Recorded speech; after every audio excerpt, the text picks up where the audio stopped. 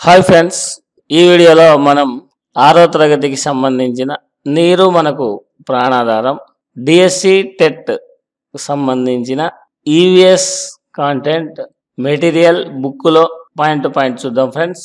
ఈ వీడియో కనుక మీకు నచ్చితే తప్పనిసరిగా లైక్ చేయండి షేర్ చేయండి అదేవిధంగా సబ్స్క్రైబ్ చేయండి ఫ్రెండ్స్.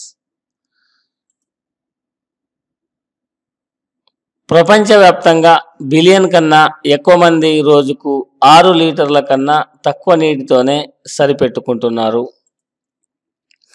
రెండడుగుల ఎత్తు ప్రవహించే నీరు పెద్ద పెద్ద వాహనాలను సైతం కొట్టుకుపోయేలా చేస్తుంది. అందుకే వరద నీటిలో వాహనాలు నడపకూడదు. వరదలు వచ్చినప్పుడు ప్రాజెక్టుల నుంచి విడుదల చేసే నీటి పరిమాణాన్ని క్యూసెక్లలో కొలుస్తారు.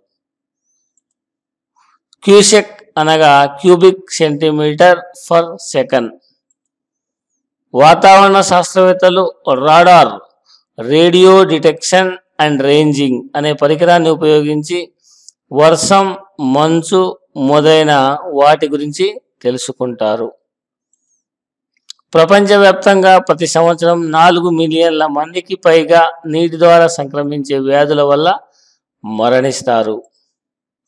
నీటి ద్వారా సంక్రమించే వ్యాధులలో నలభై మూడు శాతం డయేరియా వ్యాధులే.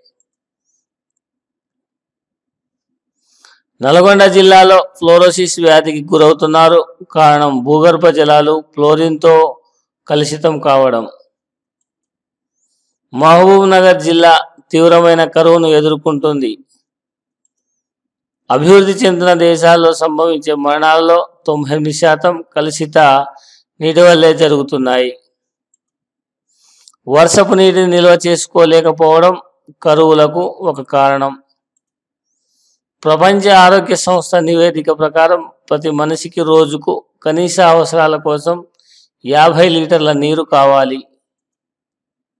ఇది ఫ్రెండ్స్ ఈ వీడియో కనుక మీకు నచ్చితే తప్పనిసరిగా లైక్ చేయండి షేర్ చేయండి అదేవిధంగా సబ్స్క్రైబ్ చేయండి. Thank you. Thank you very much.